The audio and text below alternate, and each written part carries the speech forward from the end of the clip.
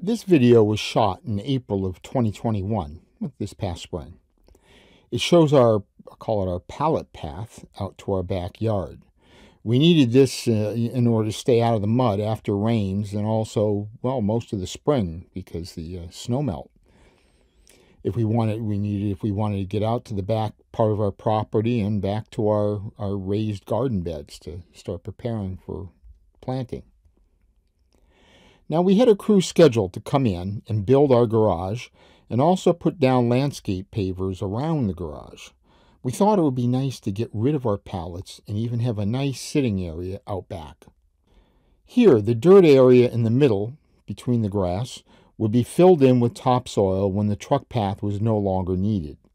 But I still wanted to be above the watery spots when the snows melted. Thus, I still wanted a path. Step one was to remove the pallets. There were about 14 of them, and they're placed end to end.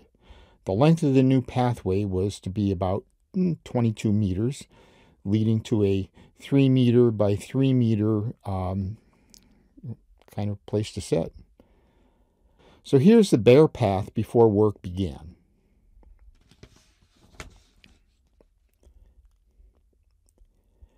Okay, here they are starting with the digging for the path.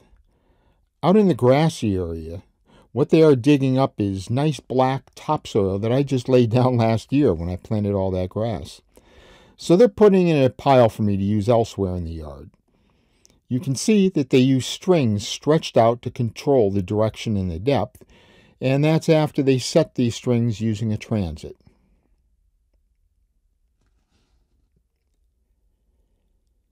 Here you can see that they're finished with the digging, but they do need to put in the borders for the path.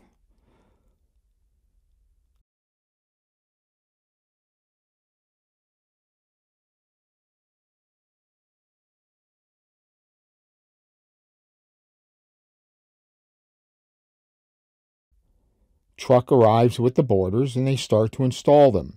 Now, our contractor is good at having materials delivered just at the time that they are needed.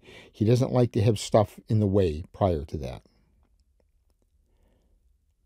So just using those stretched strings, he sets each border in concrete and has them all perfectly in line and level with each other.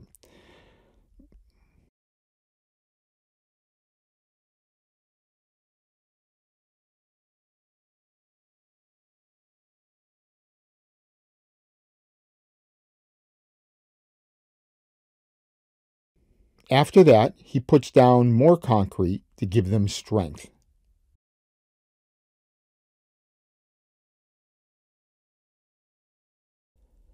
First, they lay down a sand bed and they compact it.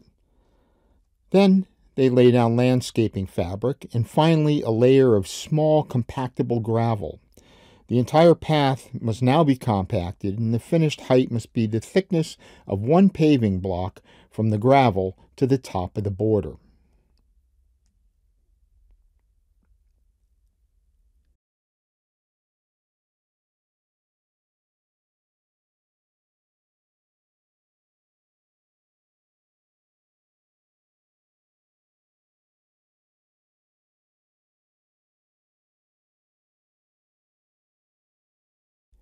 Here they begin to install the pavers on the path. One person lays them out, and the other person runs back and forth for more pavers.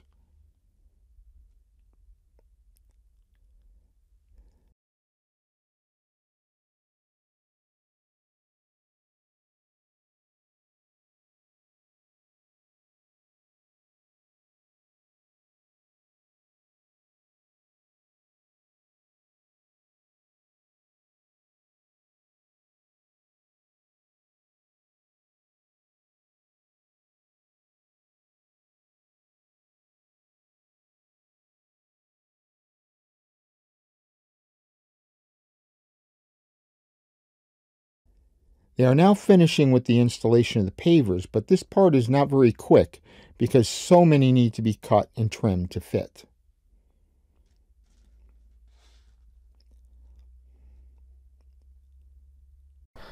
And here's our little walkway. I swept a little bit of it and The rest of it I haven't, but as I mentioned, it really needs a good rainstorm. So this connects right to the existing skirt to the house. It's kind of nice. It's like elevated a little bit. You can walk out here to the very back of the property. And you can see we have a couple of chaise lounges, a, a grill sitting out here.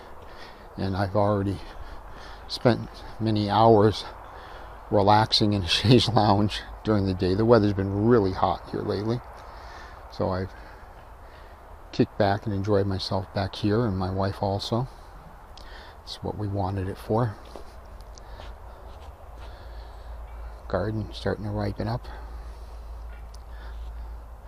Well, anyhow, that's uh, the paver work that was done.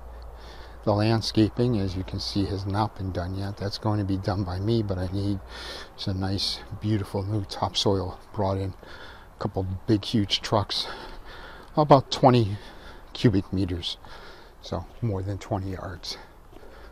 Here on this side of the garage is where I decided to use the nice topsoil that they dug up while making my path.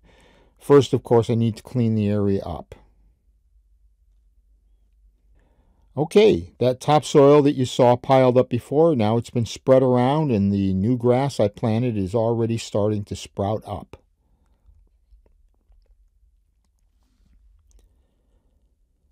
This is our path now, just before the winter sets in, now meaning in November. More of the grass sprouted up, but now it's time for it to go back to sleep and sprout up with a vengeance come spring.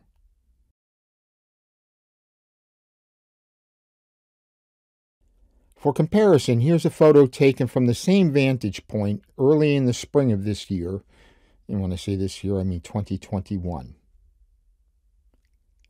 I think I like it better now. Thank you for watching my video till the end. If you enjoyed this video and aren't subscribed, please subscribe. Also hit the little bell to make sure that you're notified each time I release a new video. Pressing like also helps me out with YouTube, and comments are comments are appreciated. I mean, comments also let me know that people are watching the videos, and I'm happy to answer most questions. So, let's talk.